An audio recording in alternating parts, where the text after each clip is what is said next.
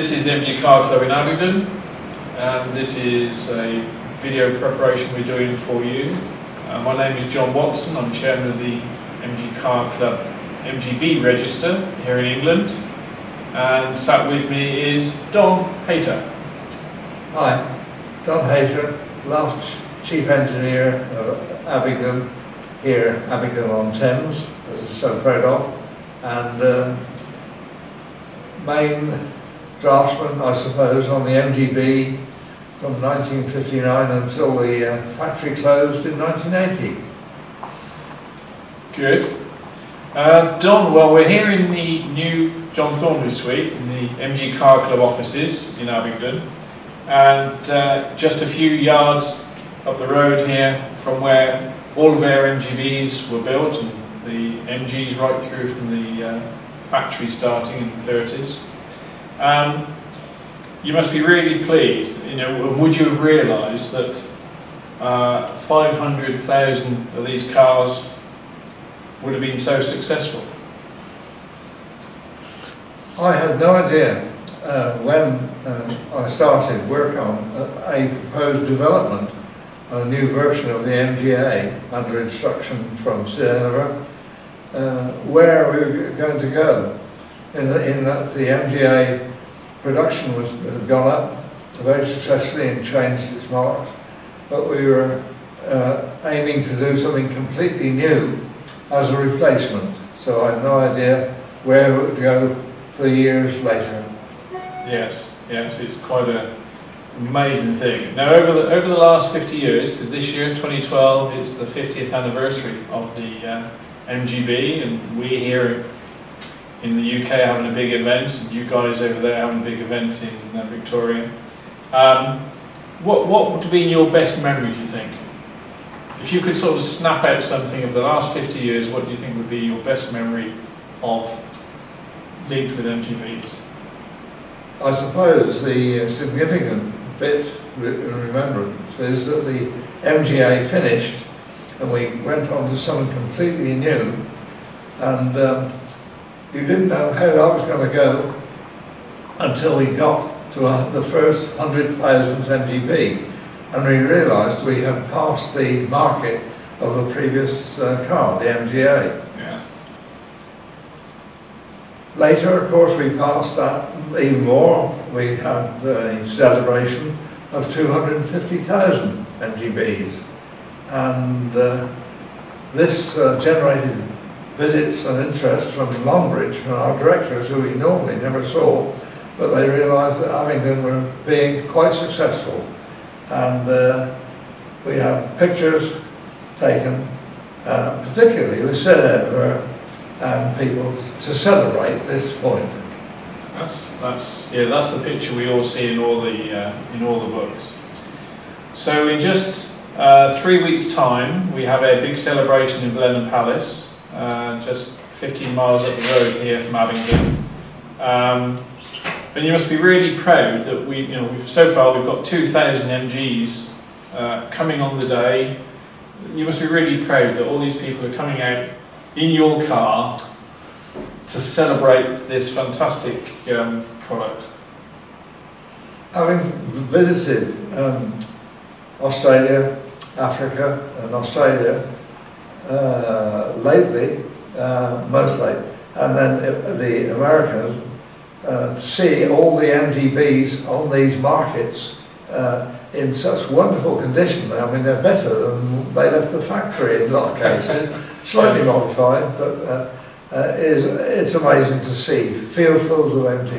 And my last memory was MG Live this year, seeing a complete circuit of MG, MGBs going around absolutely wonderful. Yes, that was so that was a really fantastic race yeah. that uh, was put on at MG Live at Silverstone in June.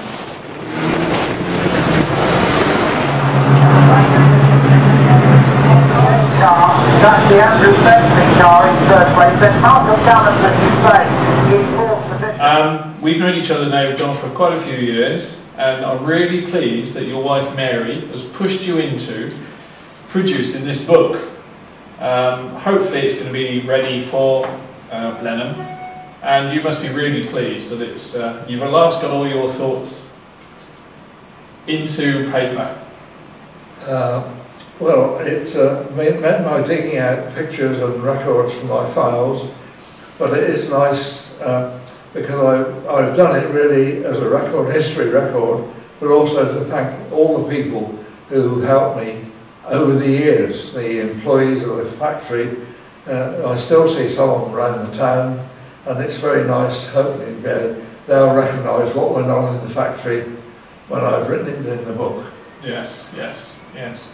Good, okay, well, I think it's time for us guys to uh, close down now and wish you all in Victoria a fantastic year with MGBs and future. And sorry, Don, yes? There's one thing I should say, as we're talking to Australia, that Australia was the only place in the world where MGs were produced as well as at Abingdon.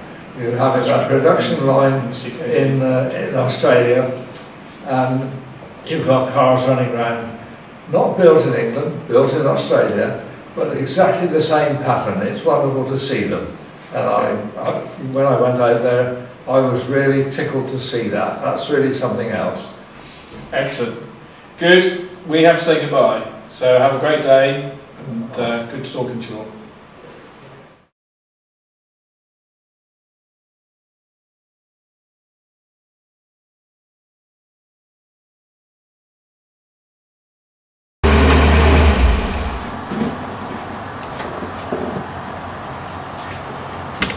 So let's look under this bonnet yours then, Don.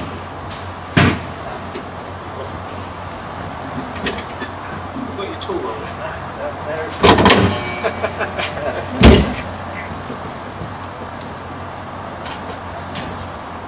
So this is the only official V8 Roadster, isn't it? Came out of the, finished and drove out of the factory. Well, it didn't drive out of the factory, but finished assembled in the factory, yes instead of that, that, that. All right, yeah. So it's not a stat instead of an engine yeah, yeah, yeah. Much more sensitive, it's right on the wall. Yeah, yeah. I made that and put it on. Oh yes, that's They're good. dangerous, those Yeah, yeah, well the blades are blades round. coming round. Say, we actually did a modification. Yeah. And they were, I don't know if it was on the last cars or not. And of course there's a slight difference here in that, that the, the pipe for the um, oil pressure. Yeah. This oil pressure to the oil filter is different. Good. Because this was one of the original O series of bodies. Yeah, it's no that went to body. America. The wings are pushed out Yeah. for the uh, bigger exhaust system. Right. And of course, for the, it had a forward radiator, but we had a an air control system across here. Yeah. That is MGB, direct acting servo, but modified Yes. for the bigger brakes. Right.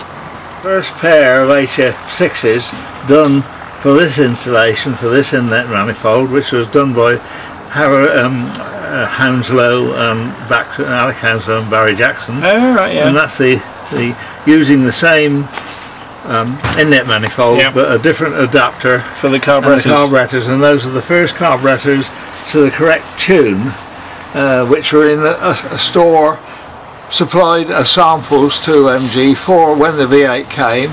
And when the, the factory was closing, we Yep. clear, went in the cupboard and found them, and they were still there, so I bought them.